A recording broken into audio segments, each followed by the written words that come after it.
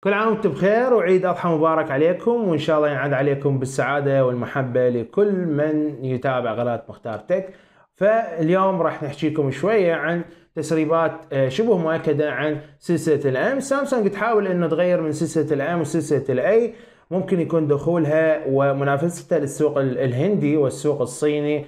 بهواتف راح تكون بمعالجات من Snapdragon أو ممكن راح تستمر مع ال Exynos في سلسلة أو بدايات سلسلة ال M وبدايات سلسلة ال A ولكن بنهاية المطاف مثل ال M 90 اليوم راح نحكي عنه أو حتى ال A 90 لأن الرمز اللي ظاهر حاليا المسرب R 6 يشير إلى ممكن يكون هو تابع لطراز ال SM M 90 5 F واللي هو يكون طراز خاص بسلسلة أو فئة ال M من آه، ناحية Galaxy فبالتالي شنو التسريبات اللي ظهرت؟ ومجموعة هذه التسريبات جمعت لكم إياها.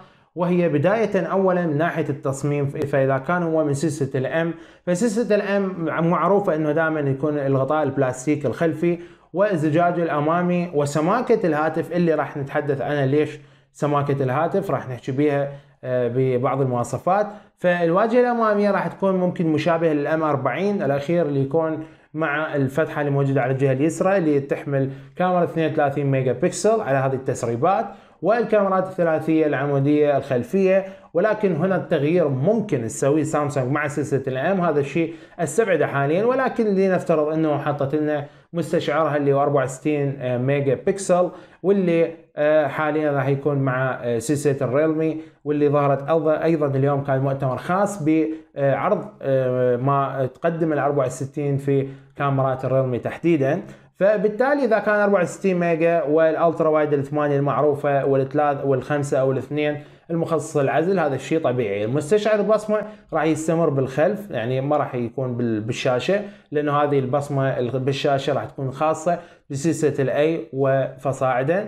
بالإضافة إلى مسألة المعالج فهنا المعالج راح تستخدم الشركة هو من Snapdragon 730 مصنوع من تقنية 8 نانومتر. ليش؟ على غرار ان ال M 40 كان مصنوع وكان يجي جاي مع 675 من Snapdragon فراح يكون التغيير بالمعالج 800 730 إضافة إلى الشاشة راح تكون بحجم 6.4 أو 6.5 إنش.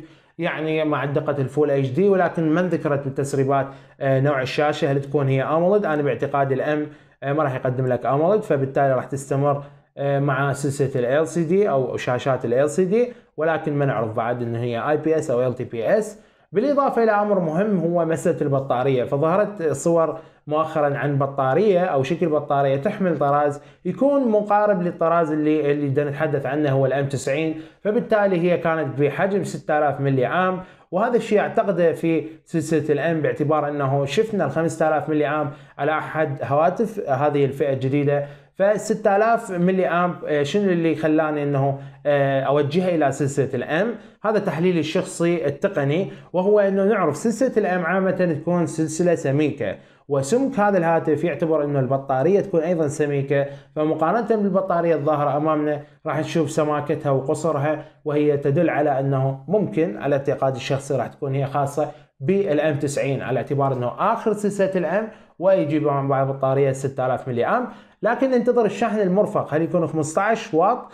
ما أعتقد 15 واط. يعني إذا كان شاشة ال سي دي 15 واط مشكلة جدا كبيرة يعني.